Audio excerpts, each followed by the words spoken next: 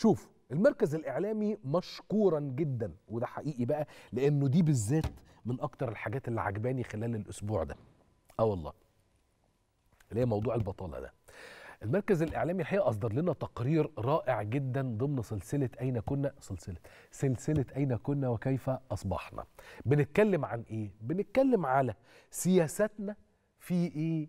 الجمهورية الجديدة علشان إيه؟ علشان نقلل نسب البطالة ومعدلات البطالة عندنا في مصر.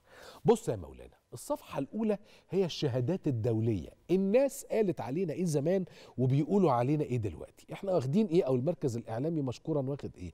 واخد البنك الدولي وواخد Oxford Business Group أو مجموعة اوكسفورد للأعمال وواخد UNDP ده تقرير التنمية البشرية بتاع الأمم المتحدة وواخد منظمة العمل الدولية.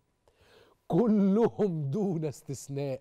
بيتكلموا عننا زمان من الآخر كده بالكلمة اللي قالتها منظمة العمل. يعني الكل قايل الجملة دي تقريبا أو مفادها أو معناها.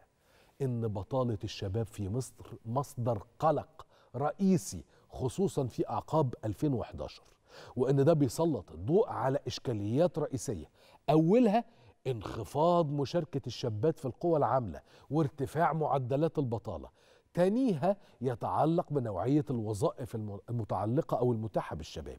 هتلاقي أنه إحنا في الفترة بتاعة 13 أو 12-13 معدلات البطالة بتاعتنا كانت 13% أما سنة 16 نزلت حبة ل 12 و6 من عشرة. وصلنا لإيه؟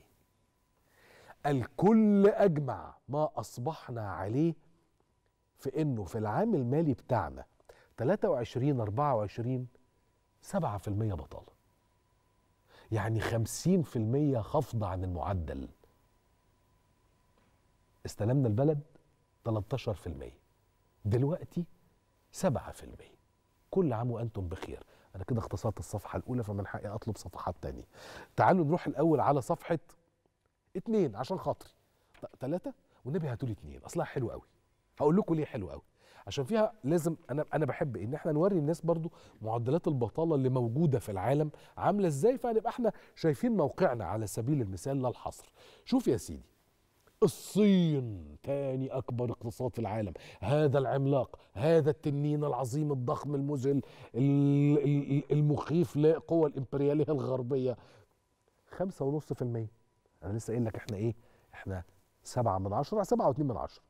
روسيا 3.6 من عشرة إيطاليا الاتحاد الأوروبي 7.9 من عشرة تركيا 9.7 من عشرة مصر 7.2 من عشرة. آه والله. الله. طب الأردن 22.9 من عشرة. طب المغرب 12.9 من عشرة. طب المملكة العربية السعودية 9.9 من عشرة. تخيل اليابان فيها بطالة ده بالنسبة لي رقم غريب جدا. 2.4 من عشرة. طيب عندك إيه تاني في الاتحاد الأوروبي يا عم يوسف غير إيطاليا؟ لا ده أنا أجيب لك بقى فرنسا 7.2 من عشرة زي حالتنا. إسبانيا 12.9 من عشرة. ألمانيا قلعة الصناعة الأوروبية 5.7 من عشرة. طب ده معناه إيه يا مولانا؟ اقرا صفحة 3 لو حابين. ده معناه إيه يا مولانا؟ ده معناه إن أنت بذلت جهد مهول علشان تقدر توصل لمتوسط بطالة أو معدل بطالة بالمقارنة بالدول الكبيرة أنت مش بعيد. أنت بتتكلم على أنه عندك دول في الاتحاد الأوروبي زيها زيك فرنسا. عندك دول أقل قليلا بمقدار تقريبا 2% وهي قلعة الصناعة الأوروبية.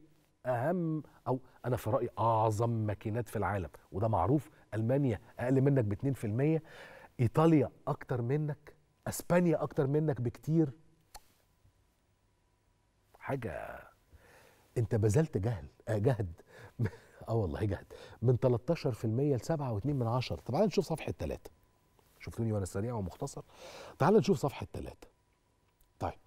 مزيد من فرص العمل خلال الربع الرابع لسنة 2022 معدل البطالة لو جينا قارناه من سنة 2014 الربع الرابع أي الربع الأخير آخر ثلاث شهور من شهر 9 لشهر 12 إحنا كنا 12 و9 من عشرة يعني هم ال 13% أما في آخر ربع لسنة 22 اللي انتهى في 31 ديسمبر اللي فات ده بقينا 7.2 من عشرة. تعال نشوف قوة العمل. زادت ولا ما زادتش؟ وده مهم جدا. قوة العمل زايدة بنسبة 9.4 من عشرة. يعني أنا كان عندي labor force قوة عمل 27 و7 من عشرة. وصلنا إلى 30 و3 من عشرة مليون فرد. طيب. طيب. نسبة الزيادة في عدد المشتغلين. كنا 24 مليون فرد بقينا 28 مليون فرد بيشتغل. طيب. تعال نشوف حصل خفض قد إيه في عدد الناس أنا ما بحبش كلمة المتعطلين دي بس هي رسميا تتقال كده يعني حتى احصائيا. لكن تعال نقول الناس اللي ما كانتش بتشتغل نزلوا قد إيه؟ نزلوا 38 و9 من عشرة النسبة. طب من قد إيه؟ من 3 و6 من عشرة مليون فرد نزلنا إلى 2 و2 من عشرة مليون فرد. تعال ناخد صفحة كمان. أنا بجري بسرعة أهو مش معطلكم في حاجة. هياخدوا لي صفحة خمسة. ماشي. تعال نشوف معدل البطالة ربع السنوي في مصر يحافظ على المستوى الأقل من سنة 2004 كلمني عن الاستقرار سنة 2004 و5 و6 و7 و8 و9 و10 مش دي كانت الدولة الحلوة على رأي بعضهم؟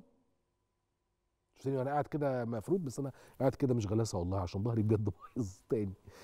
المهم مش دي كانت الدولة الحلوة الجميلة؟ ست سنين اهم استقرار. مفيش بعد كده. مش في بعضهم بيقول كده؟ طيب والدولة المستقرة يا ترى هل ترى عملت إيه في معدل البطالة؟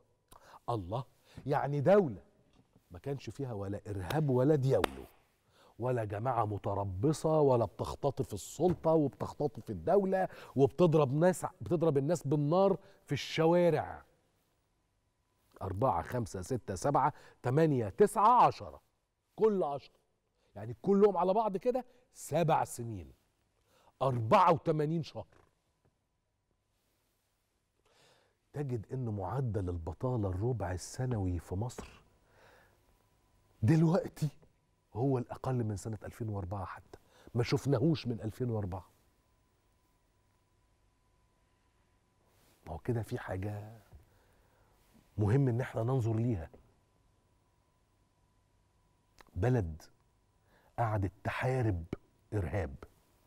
وبلد شايفة حدودها طول الوقت مهددة وبتقوم بكل الجهود ودفعت اثمان غالية من دم ولادها وأرواحهم. ده اولا سيبك من الفلوس. إلا إنها ما توقفتش عن العمل وعن البناء وعن توفير فرص العمل. ده المهم ده المهم. طيب ناخد صفحة إيه كمان عشان خاطر آه، صاحبكم يوسف؟ تعال ناخد صفحة 8 الناس. بتحب. للأسف الناس في بلادي يحبوا يسمعوا آراء الأجانب قد عينيهم. عيني. فيتش وستاندرد أند بورز وصندوق النقد الدولي. تعال نشوف كده. الناس دول بيقولوا إيه على الاقتصاد في مصر؟ ما هو الاقتصاد في مصر ده. لو أنا قادر أقلل معدلات البطالة ده معناه إيه؟ معناه قدرة الدولة على خلق فرص عمل جديدة. صح؟ طيب والدولة عشان تبقى قادرة على خلق فرص عمل جديدة معناه إيه؟ معناها إن عندها إمكانات اقتصادية مصحوبة أو ماشية في اتجاه الإرادة السياسية. يبقى إرادة سياسية في ظل إمكانات اقتصادية تساوي فرص عمل. طب إمكانات اقتصادية ده معنى إيه كلمة إمكانات اقتصادية؟ معناه إنك تبقى ماشي في إطار مجموعة من القرارات الاقتصادية اللي ماشية في اتجاه إيجابي يؤدي إلى خلق فرص عمل. فيها أي فكاكة ولا منطق؟ أظن منطق. تعال نبص واحدة واحدة. الجماعة بتوع فيتش جايبين 23 و24 و25 و26 و27 انخفاض معدل البطالة 7 و3 7 و2 7 6 و8 من عشرة 6 و6 من عشرة. ده انت فاضل لك زلطة وتبقى زي ألمانيا يعني. ماشي. Standard and Poor's هم أقلهم تفاؤلا. قال لك معدل البطالة يفضل ثابت عند 7 و3 من عشرة.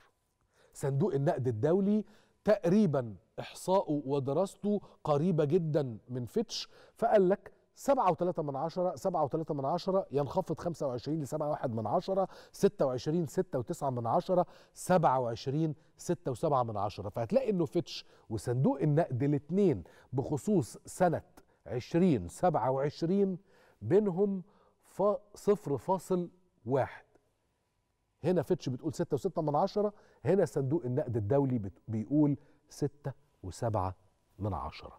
هل هناك دلالات أقوى أو أهم من دلالات الأرقام أو الحقائق؟ لا أظن ولا أعتقد ولا أؤمن بذلك. هل هناك دلالات أهم من الحقيقة الدامغة؟